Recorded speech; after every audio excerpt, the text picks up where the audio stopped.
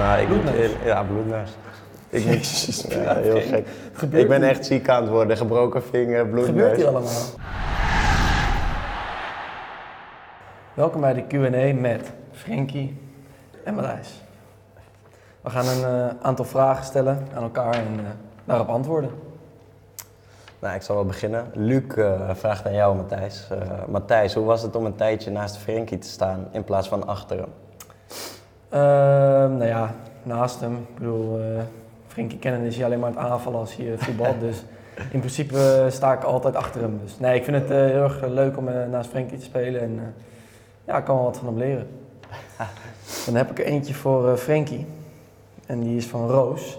Frenkie, hoe voelt het om centraal te staan? Voelt het om centraal te staan? Nou, op dit moment vind ik het prima. Ik eh, kom veel aan de bal en ik eh, kan ook wel naar voren gaan. Dus ik hoef niet per se echt als een verdediger te spelen. Maar eh, het liefst sta ik toch wel op het middenveld, moet ik eerlijk zeggen. Gaan we verder. Hebben we hier een vraag van Nico. Hij is net binnen, maar blijkbaar kan hij al Nederlands. Bij wie slaap je op de kamer tijdens de trainingskamp? Ja, ik slaap natuurlijk met de enige echte Karel Eiting. Ook wat, ja, een gevreesd duo, denk ik. Karel natuurlijk een jongen die, eh, waar je lang mee kan praten, waar je veel discussies mee kan voeren. Dus eh, genoeg gesprekstof deze week, dus eh, nee, alleen maar gezellig. Af en toe word je ook wel moe van hem trouwens. Hoor. Maar, eh, Ja, ja, heel vaak trouwens. Eh, nou, dan eh, voor, een kantje voor Frenkie, eh, van Jokkem. Welke positie stond je in de eetjes? In de eetjes. Ik heb eigenlijk altijd op het middenveld gestaan. Alleen ik heb een tijdje, toen ik net eh, bij Willem II kwam, toen speelden wij eh, de opstelling 3-3. Dus drie voorin en drie achterin. Eh, en toen stond ik links buiten. Linksbuiten. Ja, mooie positie. Oké, dan hebben we er eentje van Tijmen. Tijmen van Kempen. Wat is je lievelingseten? Mijn lievelingseten, zo. Ehm, ja, dan ga ik toch wel voor. ik vind een pizzaatje op zijn tijd altijd wel lekker. Dus eh, nee, daar ga ik voor, ja. Oké, top. Nu een vraag van, eh, van Erik. En ondertussen krijgen wij de laptop aangegeven. Een vraagje van Erik. Eh, voor welke club zou je nog graag willen spelen? Dit is een moeilijke. Dit is toch een moeilijke. lastige Ja. vraag, Ik neem aan dat het Willem II is, neem ik aan. Willem II? Ja, misschien eh, later. Maar voorlopig niet als het goed is.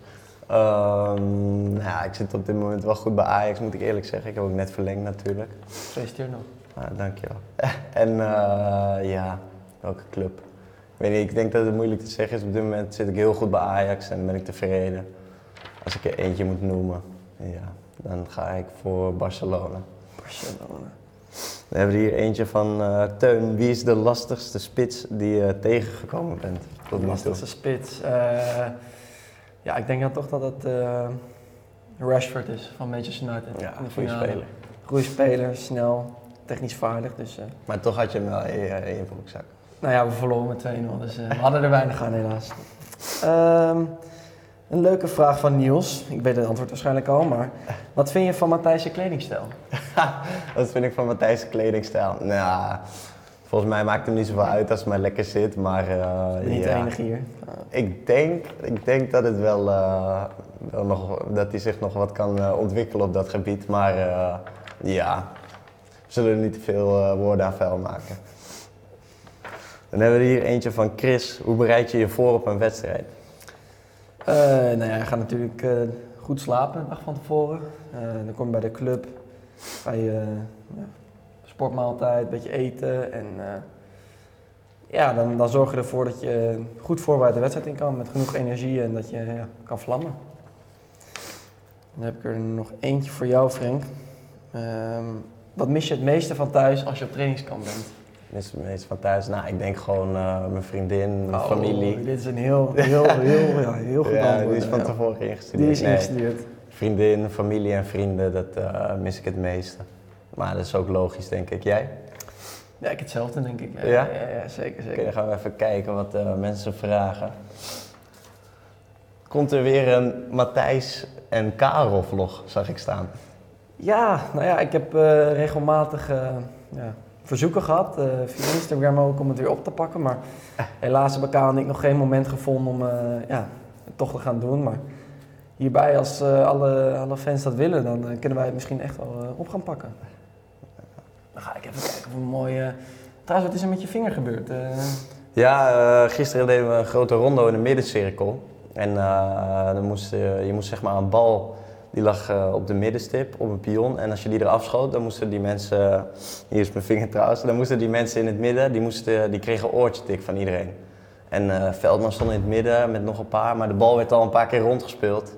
En Veldman die vond het niet zo leuk meer volgens mij. Dus toen kreeg ik de bal, toen eh, liep hij vol in mijn rug door. Maar toen uh, zat mijn vinger, eh, die ging dubbel. En nu heb ik hier, in mijn wijsvinger, heb ik een breukje in mijn vinger. dus jij bent er komende maanden uh, niet van ballen.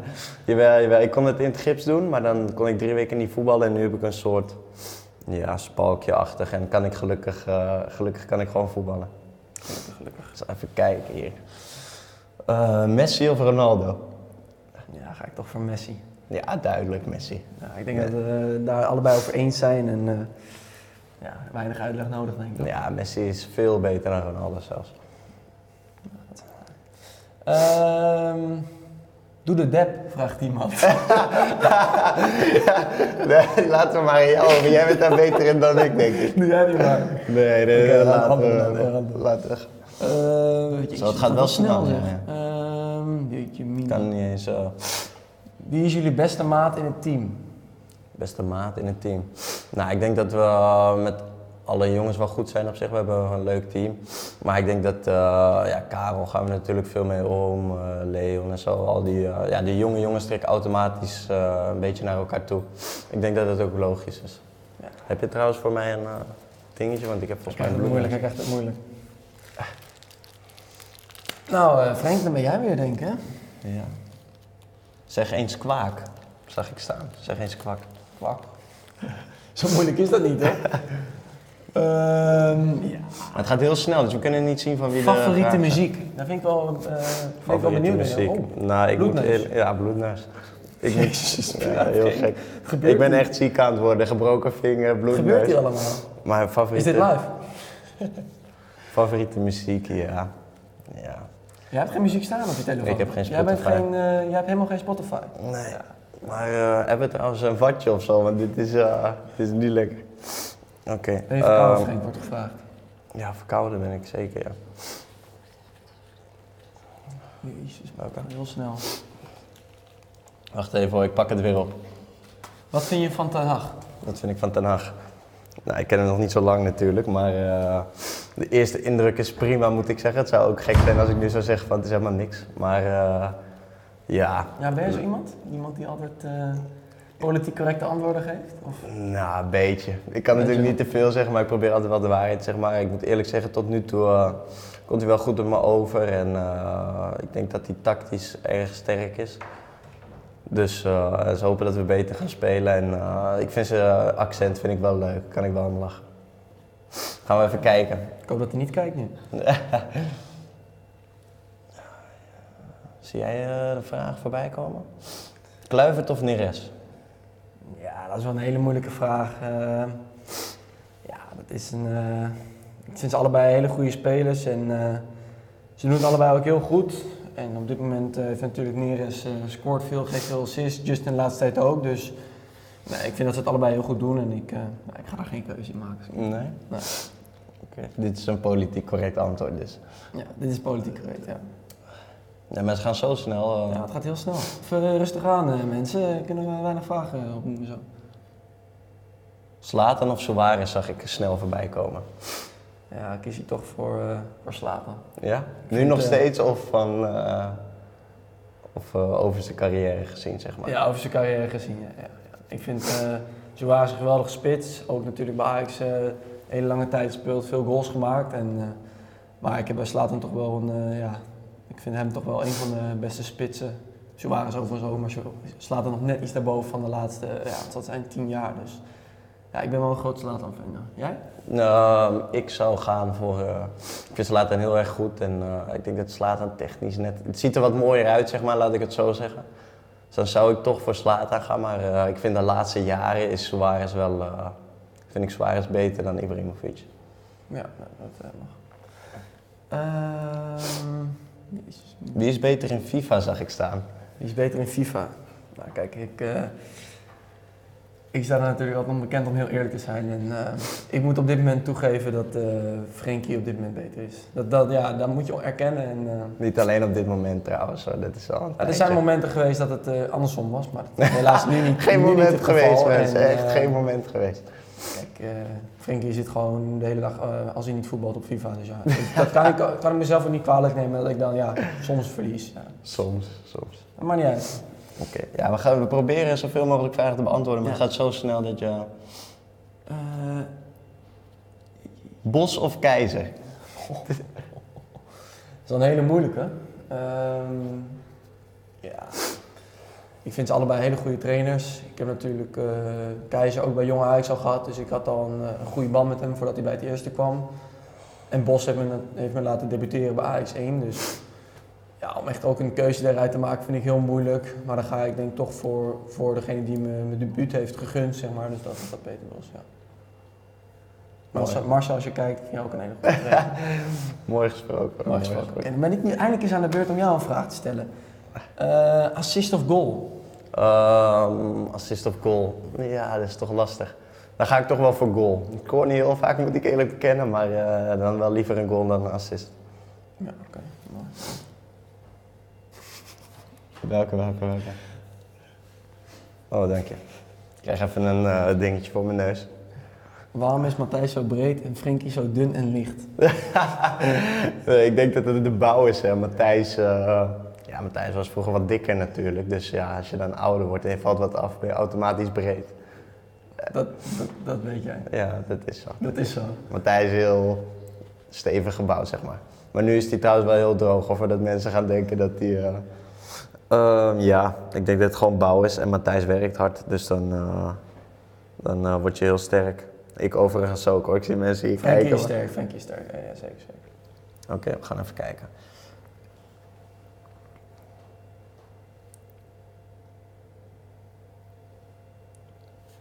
Ik zag een leuk voorbij komen. Wat vind je van Nico Tagliafico?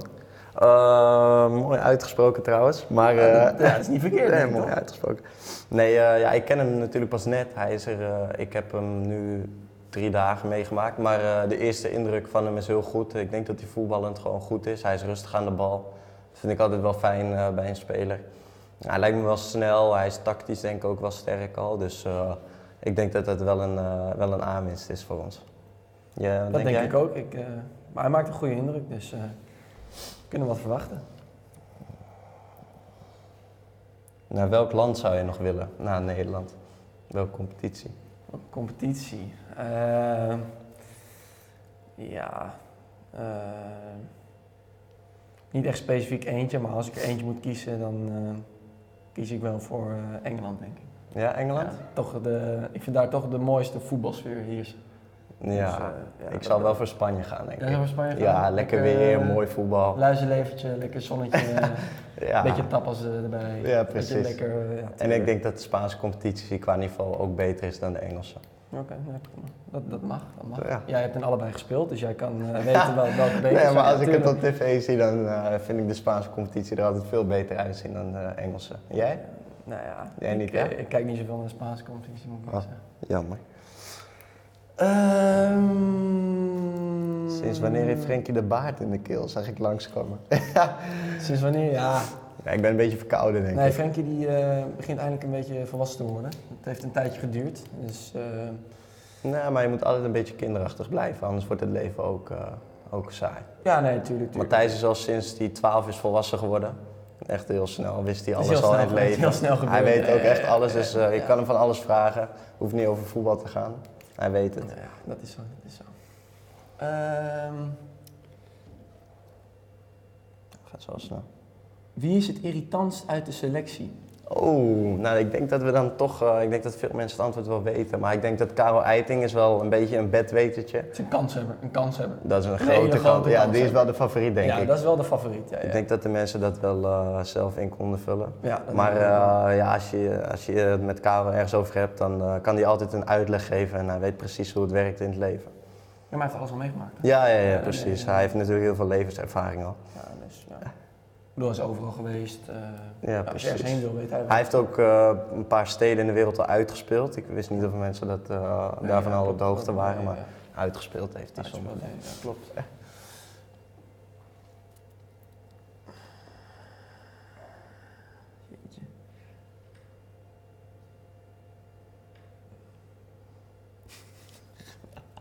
Wat? gaat wel heel snel dit allemaal. Nou, toch echt niet. Wie is de beste keeper van ons, zag ik voorbij komen? Van ons twee? Ja. Eh, Doen wel eens dat spelletje, toch zeg maar, voor de Het training. was een en, spelletje eh, dat we op een eh, soort luchtkussen, wat het ook is, Ja, een een soort mat, mat. gaan we schieten en dan eh, het gaat een van de twee keeper en dan, eh, ja, dan, dan, dan, dan zie je wel dat Frenkie is heel snel eh, bij de grond. Dus in die zin is hij beter, maar het is altijd afwachten of bij een grote goal met zijn ja, tengere gestalte of hij dan een bal op tegen kan houden. Dus eh, ik denk oprecht dat ik misschien wel eh, beter kan keeper. Moet zeggen, ja, de- nou, Voorzetjes is hij ook niet, eh, hij Niet durft eruit te komen, hij durft eruit te komen. Nee, nee, nee. Matthijs is prima keeper. moet zeggen. Hij is ook heel wild. Dus als uh, van dichtbij geschoten wordt, gooit hij zich ervoor. Dan wil ik nog wel eens opzij stappen. Dus misschien dat Matthijs... Matthijs is wel de betere keeper, denk ik. Dat, ja, dankjewel, dankjewel. Ehm Vertel een mop, Matthijs. vertel een mop. Ja, nee, mop. Een mop vertellen ben ik echt heel slecht in. Ik denk dat dit de laatste keer dat ik dat gedaan heb uh, tien jaar geleden is. Dus een, uh, een goede mop verzinnen, ja, daar kan ik echt, daar kan ik met mijn pet niet bij, helaas. Um, oh ja, ik zie een vraag uh, voor de kijkers. Wat heeft Matthijs onder zijn oog? Dat, dat is even een vraag voor mezelf. Sorry, ja, nee, Jij mag zo een vraag nee, over nee, jezelf stellen. Nee, dat is echt niet erg. Ik uh, laat hem Dan weten de mensen, zijn ze ook op de hoogte. Ja, dan hoeft die vraag niet meer gesteld te worden. Dat is toch minder vragen. Mijn, ik heb een duel gehad op de training waarbij uh, een, uh, een persoon mij per ongeluk een elleboog op mijn oog heeft gegeven. Dus vandaar de blauwe plek hier, denk ik. Deze, dit oog, ja. ja. Dus bij deze. Favoriete vakantieland zie ik ook staan. Jou dan? Voor mij, ik ben deze winter naar Mexico geweest, moet ik zeggen. Uh, maar dat was echt heel leuk, moet ik zeggen. Dus uh, als mensen een keer uh, twijfelen, Mexico is echt een aanrader. En vroeger ben ik heel vaak naar Spanje geweest en daar heb ik het ook heel erg naar mijn zin gehad. Dus dan ga ik toch voor Spanje, omdat ik daar vaker ben geweest en altijd naar mijn zin heb gehad. Jij? Ik ben twee jaar geleden in Amerika geweest. Dat was ook heel vet. En ja, gewoon leuke dingen gedaan. En dat dat voor mij wel op nummer één. Ja. Wie is de mol? Wie is de mol? Bedoelen ze dan de mol binnen Ajax? Ja. Die had in de opstelling dat, dat is de vraag, hè? dat is de vraag. Ja, um, nee, de mol, ja. Als ik eentje moet zeggen. Ik moet zeggen, op de app had ik ingevuld uh, Ron Boshart. Maar die is naar de eerste, eerste ronde al uitgegaan. Dus, uh, al je punten als je, kwijt. Als je op mijn mening af zou gaan, dan heb je het sowieso fout. Dus nee, ik heb, ik, ja, ik heb Ik denk idee. dat, hoe heet hij ook weer? Jean-Marc, die met die krulletjes. Ja, die is wel een goede of, kans. Of uh, Simone. Ja man, dan zeg je ze alle negen. Dan weet ik je, heb er twee gezegd. Okay. Eén van die twee denk ja, ik ja. dat, uh, dat het is. Die, en jij nu? Want die van jou is afgevallen. Ja, ik zeg toch wel, uh, hoe heet ze ook? Simone volgens mij?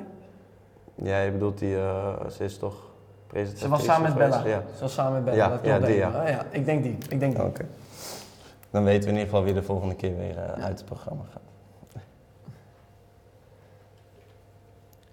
Ik kan het niet helemaal volgen. Met wie zou je een week willen ruilen van leven? Ja, ik zag hem ook staan. Ja. Um, nou, ik moet zeggen, ik ben heel erg tevreden met mijn leven, dus ik zou niet snel met iemand ruilen.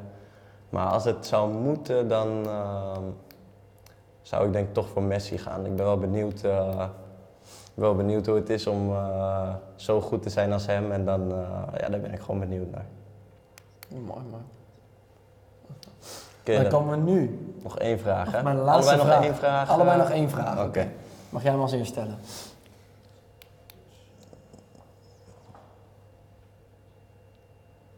Ja.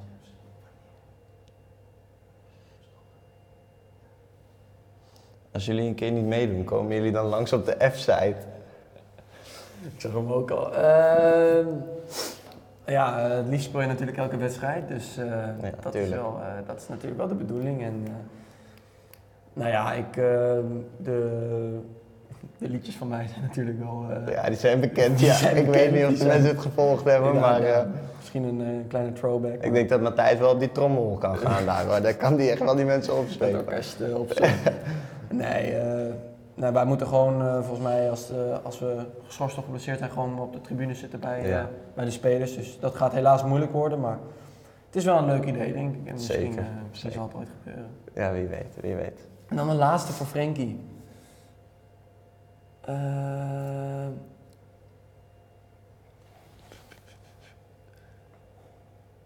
finale Europa League of kwartfinale Champions League? Dit is toch wel een Dit is lastig. een lastig, dit is een lastig. dilemmaatje. Ja. Eentje heb je al gehad natuurlijk. Maar ligt eraan, als we de finale winnen, dan de finale Ja, maar dat natuurlijk. weet je niet. Dat weet je niet. Dan ga ik voor de finale, want dan heb je een grote kans om een eh, prijs te pakken. Ja. En je niet veel gedaan in je carrière? hè? Prijzen Nee, pakken. jij ook niet. Dat hebben we allebei niet. Nee, Dus, eh, klopt. Maar Het zal er dit jaar niet... van moeten komen. Ja, precies. Maar we zitten ook nog niet eh, heel lang bij het eerste. En nee, dan ga ik voor de finale, want dan kan je een prijs pakken. Dus zeker de finale. Oké, dan was het denk ik. We willen iedereen bedanken die gekeken heeft. Zeker. En eh, allemaal leuke vragen. We hebben ze helaas niet allemaal kunnen beantwoorden, want ze gingen eh, vrij snel ook. Maar eh, we vonden het hartstikke leuk en hopelijk zien we jullie bij de klassieker.